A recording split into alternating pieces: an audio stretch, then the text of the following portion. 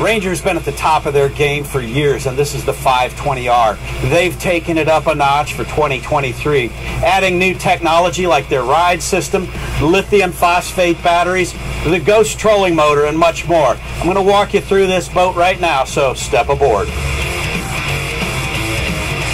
Now the 520R delivers a really large, roomy console here. You've got dual 12-inch screens, but you've also got Ranger's ride system.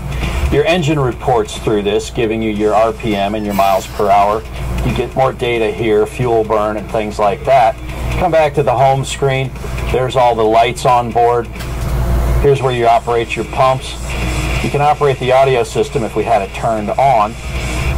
It's a great system. It gives you easy access to everything on board, and digital switching is just so smooth. Now the wheel is a tilt wheel.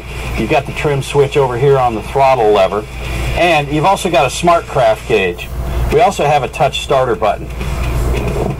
Now you expect there to be storage underneath this central step, but you've also got a charger for your phone.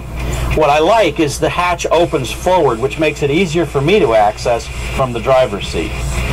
I like the bolsters here at the hips. That gives you a nice secure ride even when you're making sharp turns. On the port side, your passenger gets a console as well. It's got a glove box in it and grab handles.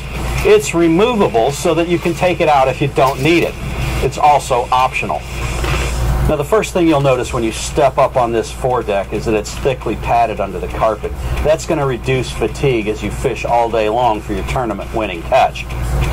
You got a butt seat here with two different positions. You can also add a casting chair.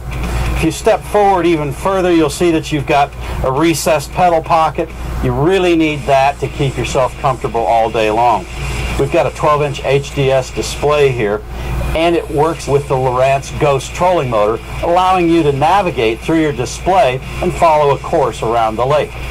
You've even got a cup holder and a tool holders right here where they're handy while you're fishing. Now on the port side, you've got an enormous rod locker here. It's got a three-tier setup that you can lay your rod butts on, stacking them, and then there are tips forward to protect the guides. You've also got tackle storage inside.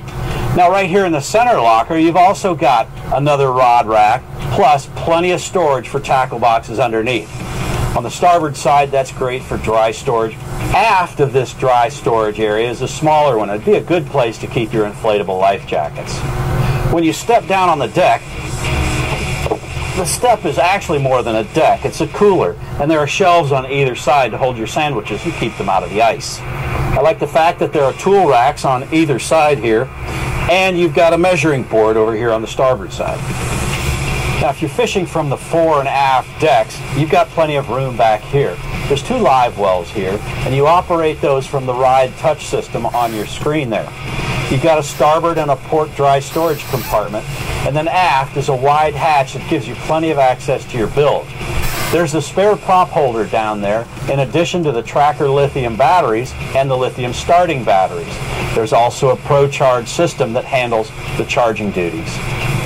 The 520R by Ranger is about as high-tech as they come. I love the integration of all the electronics through the ride screen and through the Lowrance HDSs. Digital switching is the wave of the future, and so is the Ranger 520R. I'm Randy Vance.